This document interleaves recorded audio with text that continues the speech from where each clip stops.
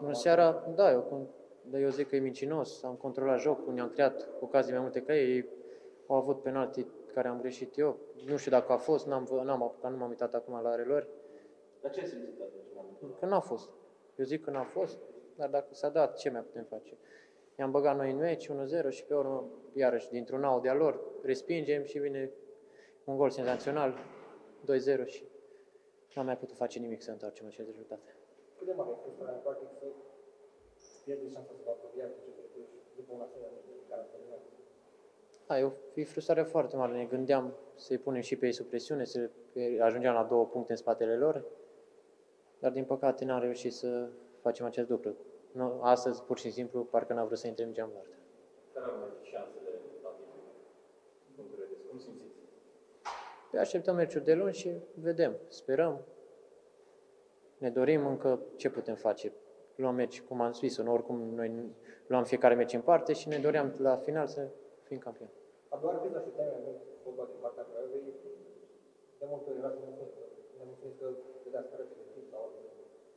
Bine, și ei și-au jucat șansa, s-au apropiat de noi la patru puncte, se juca și locul 2 pentru ei. Eu ei au, am făcut un antifotbal, adică nu- nu neapărat un antifotbal, și-au jucat șansa, au venit să ia cele trei puncte și, și au plecat acasă cu ele. Ați intrat un pic în jocul ăsta lor? Ați precipitat, nu știu, mai mult la un moment dat? Nu știu, n-am apucat să văd lor, nu știu dacă am intrat în jocul lor, că și a doua repriză totuși am reușit să controlăm jocul, să îi împingem în careul lor, să ne creăm câteva ocazii, dar ei au fost cu golurile astea. Crezi că acum a notat Craiova azi, o poate prinde de pe perioada de final? Fiecare meci e diferit. Fiecare meci are istoricul lui.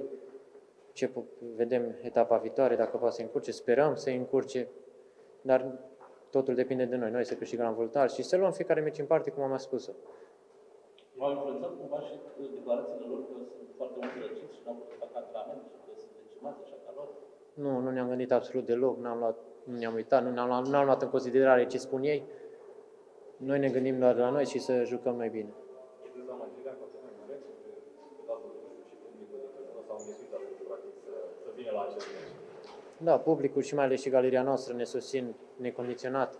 Au fost foarte mulți, ne-au încuraj- încurajat, ne-au împins spre victorie, dar din păcate în această seară n-am reușit să-i bucurăm, să-i facem fericiți.